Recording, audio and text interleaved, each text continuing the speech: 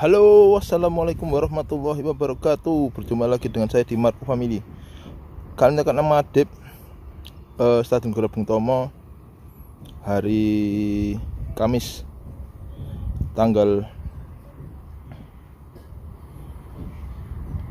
tanggal berapa ya sekarang?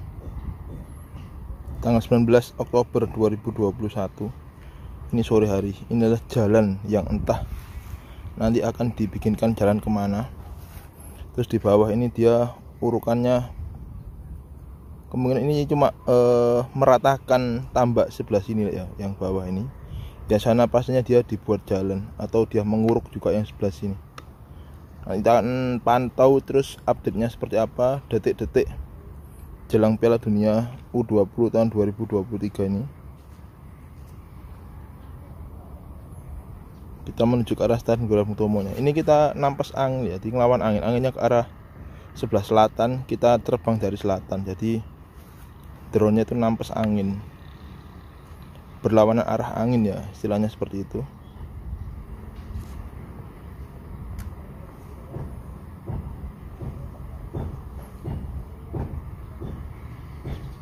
Kemarin persiapan untuk lighting di Stadion Gelora Bung Tomo sudah mulai dipersiapkan oleh PLN ya dengan memasang beberapa genset di posisi yang semestinya ya. Jadi dia taruh di mana?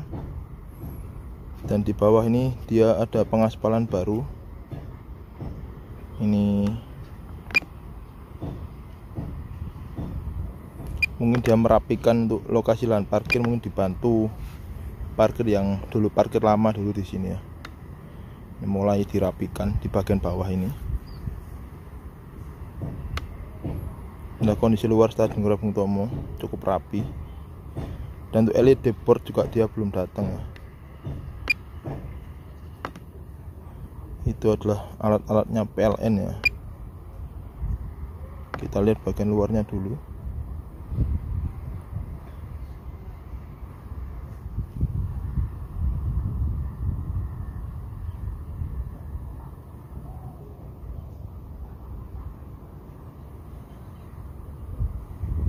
Nah ini. LED board belum nampak deh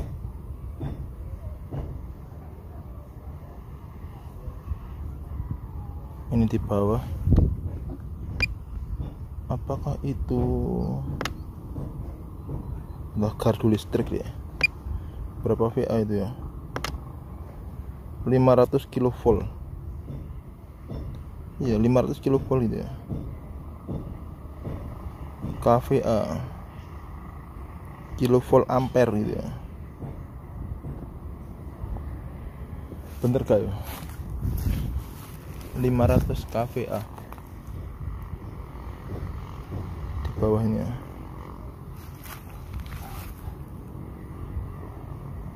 Cukup sibuk ya mempersiapkan segala sesuatu di stasiun Gelora Bung Tomo ini. Mulai di pintu masuk itu juga cukup banyak mobil-mobil.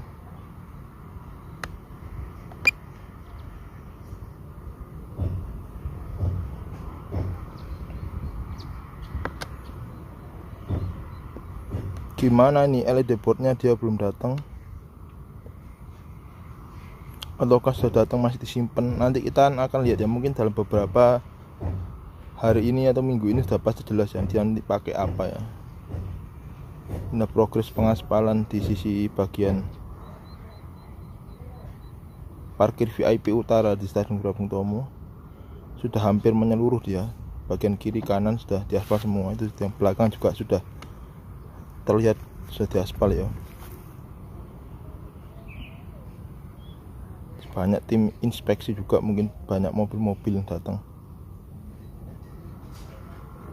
Mulai memasang pernak-pernik jelang Piala Dunia U20 tahun 2023 U U17 sampai U20 itu progres pengaspalan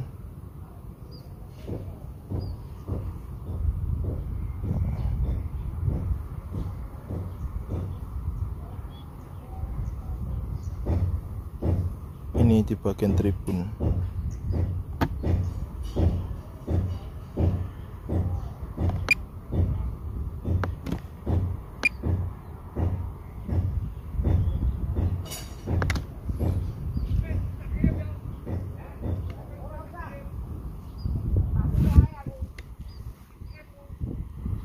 bagian tribun luar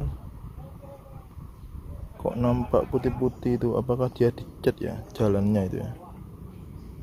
Kalau kita perhatikan lebih detail ini uh, ini untuk jalannya kayak habis dicat lagi ya.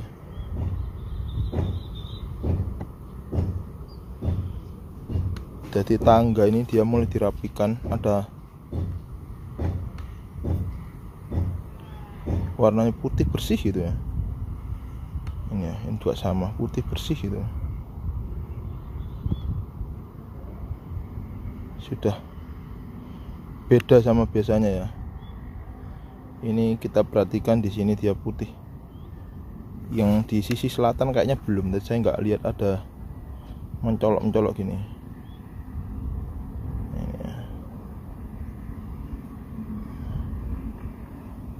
sebelah sana juga sama.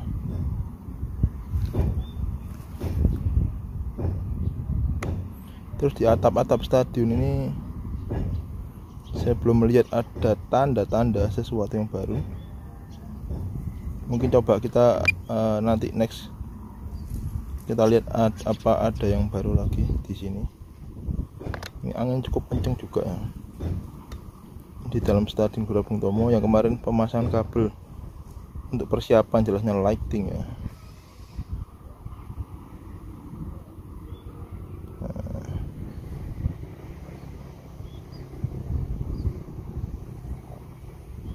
Terus kemarin yang uh, di bawah ini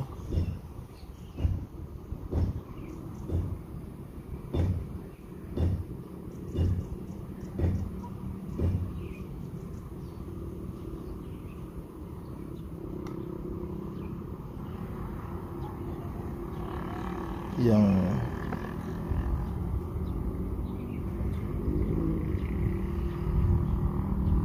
cuma masih di sisi bawah tetap ya. Yang apa namanya?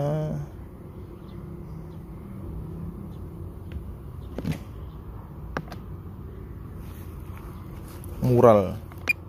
Mural. Drone agak senggol-senggol ini. Inilah mural yang ada di gate 1 ya. Terus yang di gate lainnya kita lihat belum ada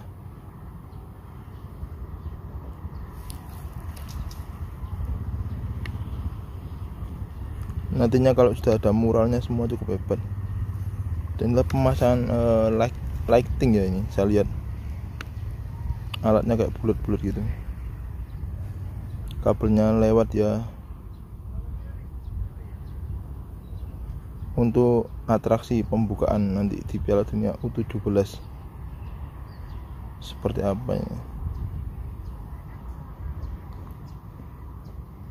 Jelasnya nanti akan diuji coba moga-moga saya dapat momen untuk uji coba lightingnya nanti ya.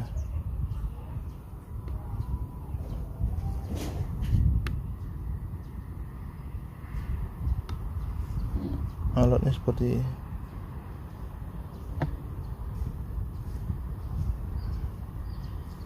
nah itu ya di bawah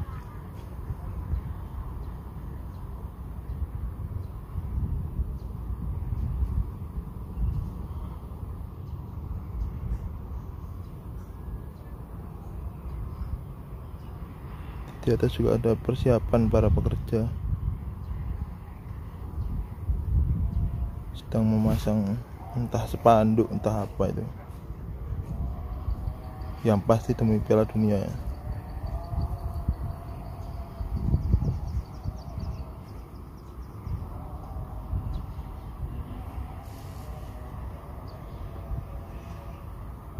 Kita tunggu nanti tanggal mainnya mungkin tanggal 10-an ini ya. dan juga ada para pekerja yang sedang memasang mungkin masang kembang api atau apa itu di atas ya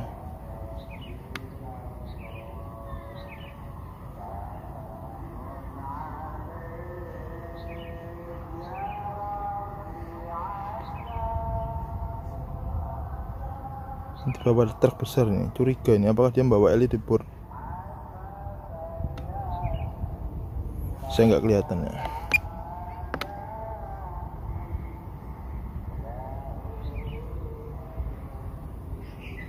Kalau segitu ya kurang banyak ya harusnya truknya banyak ya.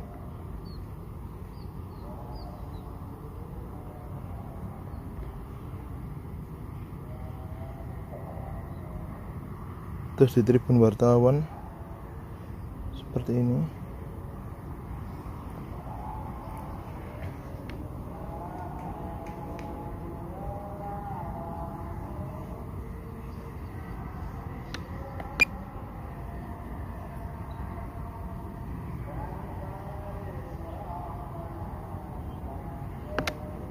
Untuk kondisi lapangannya sendiri kita lihat cukup luar biasa dan itu ditutup terpal ya itu ya. Kursinya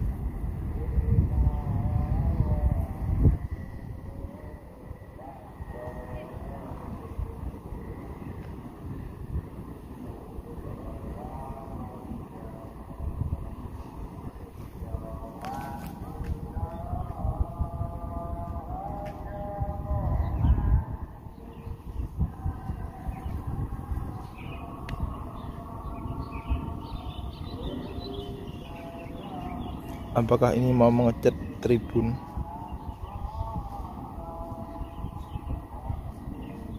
Kita coba lihat.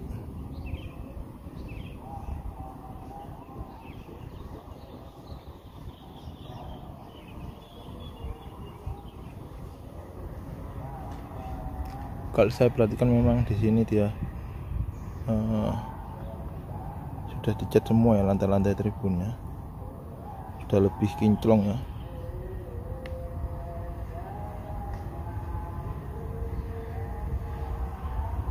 Empat belas lima belas enam belas tujuh belas delapan belas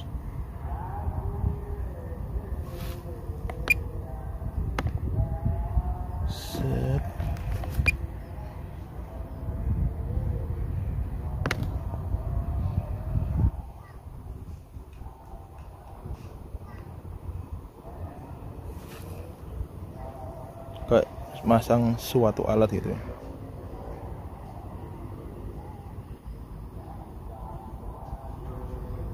itu dia naik tangga ya. dari sini dia kita nggak kelihatan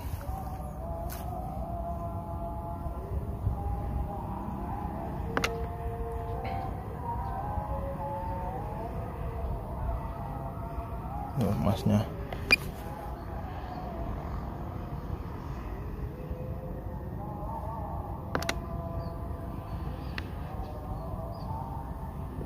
entah masang kembang api atau masang apa.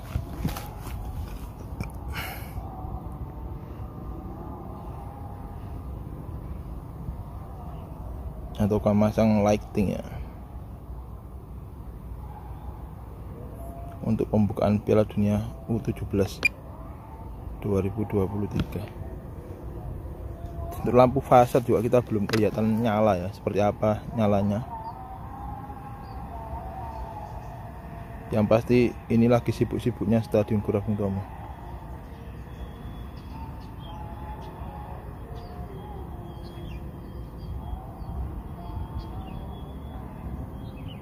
tadi yang ada mobil di dekatnya tribun sini ya di bawah ya kencang lurus ini. Dari sini nggak kelihatan ya karena lorongnya cukup dalam. Seperti kondisi stadion Gelora Bung Tomo pada sore hari ini mungkin kurang lebih seperti itu ya untuk update kita pada sore hari ini. Jangan lupa saksikan terus update-update terkini tentang Stadion Gelora Bung Tomo. Kalau bisa saya usahakan nanti update setiap hari ya. Sambil arah balik sambil saya lihat yang jalan baru ini ya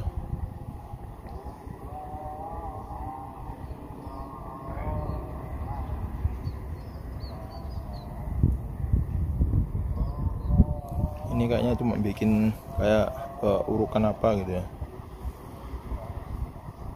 Dia masih tetap seperti biasa. Sekian dulu video kita pada sore hari ini. Jangan lupa saksikan terus. Hanya di Marco Family. Ayo oh jalan jalan-jalan